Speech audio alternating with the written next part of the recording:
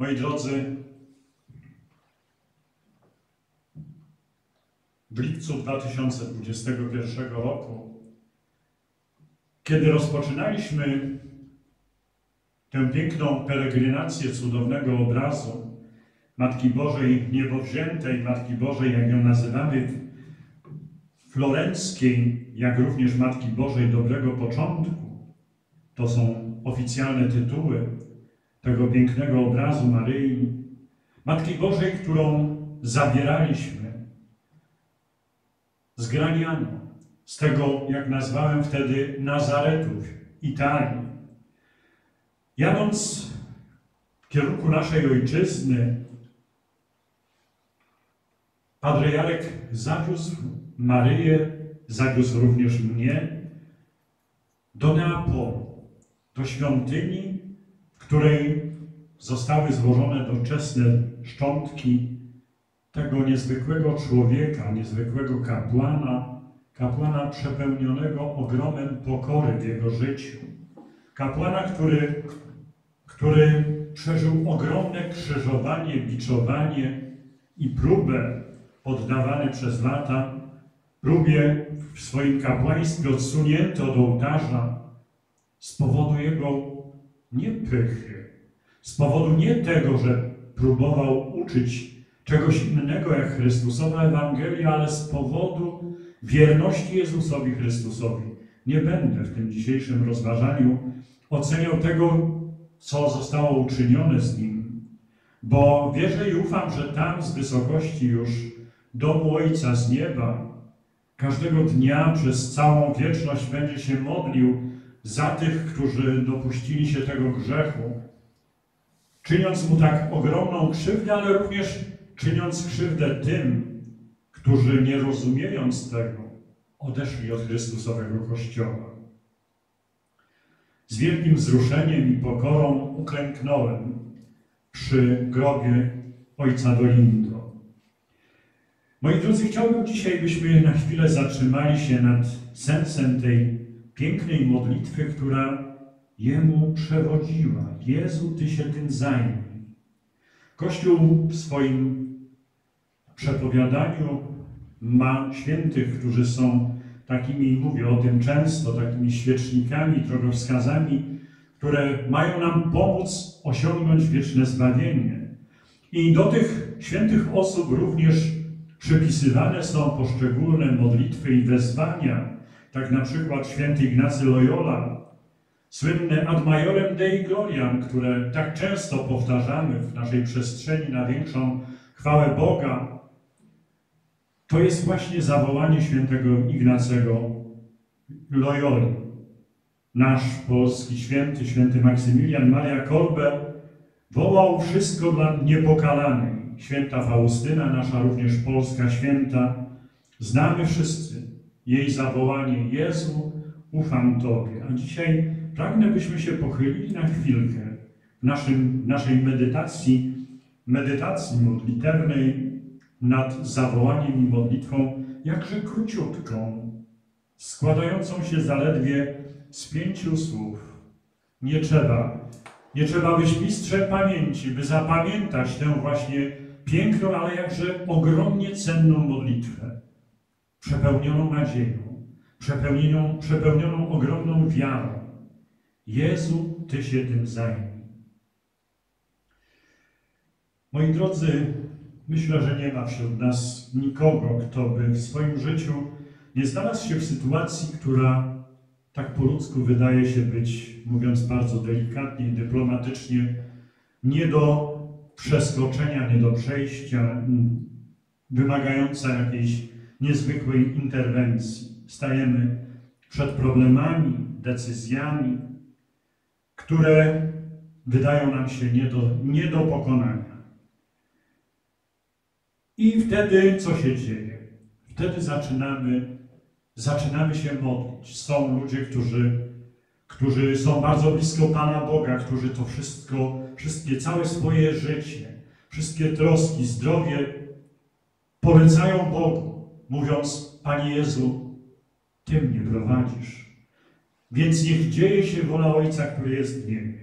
Ale i są tacy, którzy właśnie w takich chwilach, nie wierząc, mając zbyt słabą wiarę, popadają w rozpacz, popadają w ogromny strach i lęk. Psychologia określa to po swojemu, nazywając to stanami lękowymi, kiedy one dotykają człowieka bardzo mocno. Tylko zauważcie, drogie siostry i bracia, nie chciałbym być źle zrozumiany jako ten, który atakuje psychologów, terapeutów i tych, którzy się zajmują naszymi sprawami i pomocą w problemach. Nie jestem ostatnią osobą, który chciałby kogokolwiek atakować, ale zauważcie, że jeżeli człowiek jest pozbawiony wiary, jeżeli jest duchowo taki trochę wypłukany, pusty, to wtedy wszelkie problemy, z którymi przychodzi nam się zmierzyć każdego dnia, są dla takiego człowieka problemami nie do przebrnięcia.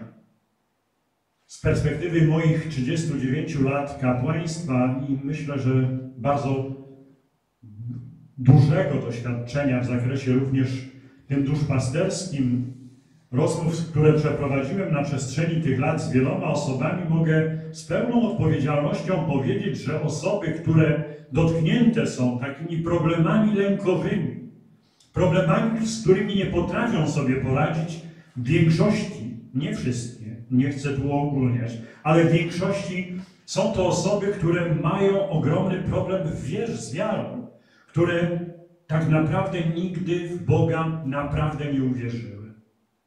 Dlatego człowiek, który staje przed murem różnych problemów życiowych, nagle popada w, w ogromny problem. Pojawiają się depresje, stany lękowe.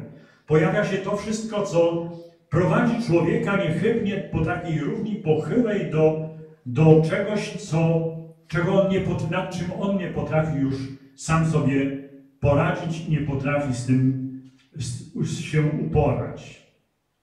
W przypadku człowieka wiary, człowieka, który ma oparcie w Jezusie, pozostaje nam ten wielki skarb, jakim jest wiara, która zaczyna nas intuicyjnie kierować w tym momencie nasze myśli w kierunku Boga, zadawać pytania o sens tego, co mnie spotkało.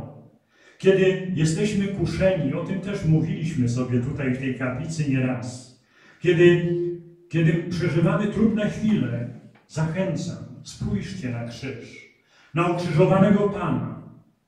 Zamknijcie oczy, nawet wtedy, jeżeli jesteście setki kilometrów stąd, widzicie podczas każdej tej mszy świętej Pana Jezusa na krzyżu. W naszej kaplicy macie z pewnością w swoim domu również Pana Jezusa ukrzyżowanego. Spójrzcie, zamknijcie oczy i poproście, aby to On pomógł Wam przeżyć te chwile trudne. Bo w istocie tak jak dostrzegamy to wokoło, ale i też mam wśród gronie swoich przyjaciół psychiatrów i psychologów i potwierdzają jednoznacznie, że żyjemy w tej chwili w XXI wieku czasach wszechobecnej depresji nerwicy. Najwięcej jednostek chorobowych, które Polacy w ostatnich nastu miesiącach przeżywają w Polsce, to nie są wcale nowotwory czy nawet nie COVID ale właśnie depresje i nerwice, które rozwalają cały nasz system, również system duchowy. Wydaje się, że ludzie nie radzą sobie nie tylko z problemami, ale także z ich przeżywaniem. I tutaj można by powiedzieć, że zamyka się pewne, pewne koło duchowości, bo jesteśmy zmęczeni, jesteśmy ogromnie zabiegani zatroskani o swoją swoją codzienność o to, żeby niko, nic nam nie zabrakło, żebyśmy nie stracili pracy, żeby naszym dzieciom dobrze się działo, żeby nasze dzieci, które często w wieku młodzieńczym odchodzą od Pana Boga, żeby one do Pana Boga zbliżyły się, żeby nasze dzieci w wieku tym młodzieńczym, dwudziestokilkuletnim, kiedy są, czy nawet młodsze i popadają w różnego rodzaju problemy i kryzysy, żeby one z nich wyszły. I w tym wszystkim, w tym wszystkim znajdujemy się jak gdyby w środku, w centrum. W tym naszym zabieganiu, zatroskaniu wpadamy właśnie czy to w depresję, czy też w nerwicę, czy też w stan, który można nazwać stanem lękowym i tym również stanem lękowym duchowym. Tu przychodzi nam z pomocą właśnie Dolindo. Święty, jak ufamy, święty ksiądz Dolindo, który zachęcał tutaj, będąc za życia, abyśmy wołali do Pana tych pięć słów. Jezu, Ty się tym zajmij. Co to za modlitwa? Ktoś powie. Przecież to, to jest króciutkie zdanie. Co ona zawiera? Moi drodzy, to jest takie swoiste wołanie człowieka, który pragnie całe swoje życie dać Bogu, który pragnie w pełni zaufać Bogu. Moi kochani, nie oznacza to, że w momencie, kiedy powiem Jezu, Ty się tym zajmij, to oznacza, że wyłączam się z mojego, mojej próby poukładania swojego życia, ogarnięcia swoich problemów, załatwienia wszystkiego tego, co po ludzku mówiąc powinienem zrobić. Nie, wcale nie oznacza to, że przestaję robić wszystko, co jest w mojej mocy, ale nie ma, nie ma, siostro i bracie, na mnie tego, co nazywamy takim emocjonalnym bagażem i takim efektem samonapędzającego się koła, o którym, o którym można powiedzieć w ten sposób, że kiedy idziemy na przykład, bardzo praktyczny przykład, kiedy dostaniesz wezwanie z Urzędu Skarbowego, myślę, że nie ma wśród nas nikogo, kto kto reaguje na wezwanie z Urzędu Skarbowego bezemocjonalnie. Zwykle gdzieś tam z tyłu głowy jest myślenie, co się stało, dlaczego. A jeżeli ktoś prowadzi działalność gospodarczą, to to myślenie i ten, ten, te niepokoje lękowe są jeszcze większe, bo myśli sobie, może coś złego zrobiłem, może nie wypełniłem jakiejś deklaracji teraz jak mi przywalą, to stracę połowę swojego lub cały swój majątek. Więc wtedy pojawią, pojawiają się właśnie takie, takie, a nie inne nasze emocjonalne zachowania. I wtedy psychologowie, ale również mistrzowie, mistrzowie duchowości podpowiadają, by w takich sytuacjach, jeżeli dotykają nas jakieś bardzo trudne sytuacje emocjonalne w życiu, stanąć jak gdyby obok siebie jak gdyby to nie Ciebie dotyczyła ta cała sytuacja, ale jak gdybyś to Ty był tym, który idzie, by pomóc, obronić kogoś, na kim Tobie bardzo zależy. Zmienia się jak gdyby optyka spojrzenia na tę samą sprawę, ale na tyle skutecznie zmienia się, że może w znaczący sposób zmienić również rozwiązanie tego problemu. I w taki właśnie sposób działa ta piękna, króciutka modlitwa. Jezu, Ty się tym zajmij. Ty będziesz od tego momentu tym, który poprowadzi mnie przez moje dalsze życie, który pomoże mi wyjść z tego mojego jakiegoś mniejszego czy większego bagna, w które niechcący się wpakowałem, który mnie nie puści, bo wiem, że Ty mnie kochasz. Modlitwa ta daje więc nam, siostry i bracia, takie poczucie wytchnienia, taką ogromną ulgę sprawia, że kiedy nawet kładę się spać i potrzebuję czasami połowy, połowy ręki tabletek, żeby przespać jedną noc, kiedy kładę się spać ze z tą świadomością, że mogę pójść, odpocząć, bo Jezus się tym zajmuje, wiem, że będę spał spokojnie. I że wiem, że w tym czasie Pan nasz Jezus Chrystus jest ze mną. Ktoś może zapytać, no dobrze, ale to pewnie tyś sobie tak wmówił. Skąd pewność i czym właściwie ma się zająć Jezus? Czy pójdzie za ciebie jutro do urzędu skarbowego, do izby skarbowej, do ZUS-u, do banku, do pracy, czy gdziekolwiek indziej, gdzie te problemy się pojawiły? Moi drodzy, wezwanie ojca do Lindo wypływa z głębokiej wiary, ale i z ogromnego życiowego doświadczenia i przekonania, że Bóg działa zawsze w życiu każdego człowieka. I że nie ma w naszym życiu ani jednej sytuacji, w której Pan Bóg by powiedział, a teraz ja idę sobie na urlop. Lub co chcesz, a mnie tu nie ma. Była taka komedia, zresztą bardzo dobra, dobry film amerykańskiej produkcji właśnie o pewnym bohaterze, któremu Pan Bóg na kilka dni scedował rządzenie światem. Wszechmogący, nie wiem czy to był Bruce Wszech, chyba Wszechmogący, jeżeli dobrze pamiętam. Bardzo dziękuję za podpowiedź, bo też był inny, druga część tego filmu i w tym momencie nie ma takiej opcji, że Pan Bóg odchodzi od nas, że nas zostawia choćby na mgnienie, na jedno mrugnięcie naszego oka. Siostry i bracia, to jest właśnie efekt tego, tego wielkiego zaufania. Panie Boże, jesteś ze mną i nawet gdyby spadały wokoło mnie różne rzeczy, nawet przy tak ogromnym doświadczeniu traumatycznym, jak to wczorajsze trzęsienie ziemi w Turcji, Pan Bóg był też przy tych, którzy tam w dniu wczorajszym byli, którzy przeżywali ten, ten ogromny dramat. Ktoś zapyta, gdzie był, skoro prawie 6 czy 7 tysięcy ludzi już nie żyje, zostało odkopanych jako tych, którzy odeszli. To jest odrębny temat na, inny, na inne rozważanie. Natomiast Pan Bóg, siostro i bracie, jest przy każdym z nas, również przy Tobie. Kiedy idziesz do urzędu, do pracy, kiedy idziesz do szpitala, by usłyszeć od swojego doktora, czasami to tę informację, która powoduje, że uginają się pod Tobą nogi, jakby były zbaty, bo słyszysz, że masz poważną chorobę. Pamiętaj, że nie jesteś w tym momencie sam. Wołaj zawsze, Jezu, Ty się tym zajmij. A po drugie, Pan Jezus zajmuje się przede wszystkim nami. Przecież On najlepiej nas zna. wie, w jaki sposób przeżywamy nasze życie. Wie, czego się najbardziej boimy. Wie, jakie są nasze problemy. Możesz ubierać różne maski przed swoimi znajomymi, pracodawcami, nawet przed żoną czy przed mężem, przed swoimi dziećmi. Możesz lukrować swoje życie, natomiast Jezusowi nie zalukrujesz niczego. On nas zna znakomicie.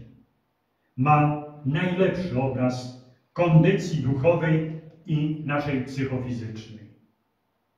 A zatem Jezus zajmuje się przede wszystkim uzdrawianiem mnie. Zajmuje się moim uzdrawianiem. Leczy moje uczucia, pomaga w przezwyciężaniu pokus, pomaga w przezwyciężaniu słabości. Dzięki temu mamy siły, by odważnie stawiać czoła wszelkim naszym problemom, które pojawiają się w naszym życiu. Moi drodzy, jestem również przekonany, że Pan Jezus potrafi także w sposób nadprzyrodzony interweniować w naszym życiu, o czym tak często zapominamy. Mówimy, a co Pan Bóg tu może zrobić tu i co ja, jeżeli ja sobie nie poradzę, to co Pan Bóg może zrobić? Wszystko może zrobić. Może postawić na mojej drodze człowieka, ludzi lub stworzyć takie sytuacje, aby przekonać mnie o swojej pomocy, aby pokazać swoją obecność. Nie jest rzadkością, że działa przed, przede wszystkim przez swoje słowo, przez Ewangelię, które ni stąd, ni zowąd wpadają Ci w Twoje ręce lub do ucha i okazuje się, że w poniedziałek rano, kiedy jesteś tak bardzo wylękniony i przestraszony nowym tygodniem, nie wiadomo, wpadają Ci w ręce, wpada Ci w ręce jedno zdanie z Pisma Świętego, czasami wysyłane również od kilku lat przeze mnie, regularnie.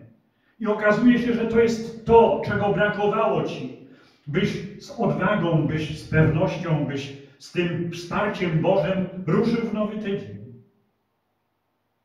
Panie Jezu, Jezu, Ty się tym zajmij. Nie zapominajmy o tej krótkiej modlitwie. Niech ona będzie naszym wsparciem, niech będzie naszą taką taką dodatkową bronią, która sprawi, taką tabletką, nie wiem, szukam najlepszego przykładu i słowa, żeby, żeby jeszcze bardziej to zobrazować, która spowoduje, że nie będzie sytuacji w, naszej życiu, w naszym życiu, która będzie dla nas zbyt mocna, zbyt ciężka, nie do pokonania. Nie ma takiej sytuacji, droga siostro i bracie, bo Jezus jest zawsze z nami. Panie Jezu, Jezu, Ty się tym zajmij. Jezu, Ty się tym zajmij. Zechciejmy właśnie z taką ufnością teraz zanieść tam przed tron Boga w Trójcy Świętej Jedynego, gdzie jak ufamy jest również ksiądz Dolindo, radości nieba, gdzie są nasi święci patronowie. Zechciejmy teraz zanieść nasze osobiste wołania. Jezu, Ty się tym zajmij.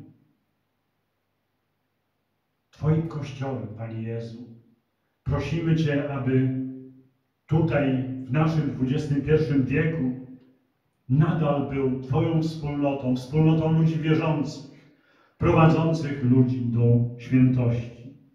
Jezu, Ty się tym zajmij. Pasterzami w Kościele, Ojcem Świętym, Franciszkiem, nami biskupami, prezbiterami, diakonami, abyśmy z wielką miłością, ufnością i entuzjazmem każdego dnia głosili świętą Ewangelię. Jezu, Ty się tym zajmij. Wołamy i prosimy w intencji chorych i cierpiących, którzy każdego dnia wraz z nami gromadzą się na tej mszy świętej. Wołamy w intencji cierpiącej od 18 lat Zofii, która 18 lat leży w łóżku. Wołamy i prosimy w intencji Anny i Tadeusza, w intencji Danuty, w intencji Barbary, która jest tak ciężko dotknięta cierpieniem choroby, w intencji Wandy. Prosimy i wołamy w intencji Joli, wołamy i prosimy w intencji wszystkich tych, których imiona bardzo głęboko i blisko noszę w swoim sercu. Jezu, Ty się tym zajmij. Wołamy i prosimy Cię, Panie Jezu, o nowe powołania do kapłaństwa. Tyle świątyń już również w naszej ojczyźnie zaczyna świecić pustkami z powodu braku świętych kapłanów. Jezu, Ty się tym zajmij. Wołamy i prosimy w intencji tych, którzy źle nam życzą, którzy nie dostrzegając Twojej Ewangelii, próbują wyśmiewać tych, którzy głoszą świętą Ewangelię, którzy z wielką miłością każdego dnia pragną Ci służyć. Spraw, Panie, aby dostrzegli dobro w sercach tych, których świadomie lub nieświadomie krzywdzą. Jezu, Ty się tym zajmij. Wołamy i prosimy w intencji naszych dzieci, młodzieży, która tak bardzo potrzebują, potrzebuje jako nowe pokolenia wsparcia w wierze, aby wychowywane przez pokolenie rodziców, które, których wiara jest tak słabą, nie zatraciły się na wieki. Jezu, Ty się tym zajmij. Wołamy i prosimy w naszych intencjach, tutaj obecnych, tych, którzy piszą również swoje prośby podczas świętej Eucharystii, abyśmy zawsze z wielką ufnością podążali za Tobą, abyśmy nigdy nie zwątpili, że Ty jesteś z nami. Jezu, Ty się tym zajmij, bo Ty żyjesz i królujesz na wieki wieków. Amen.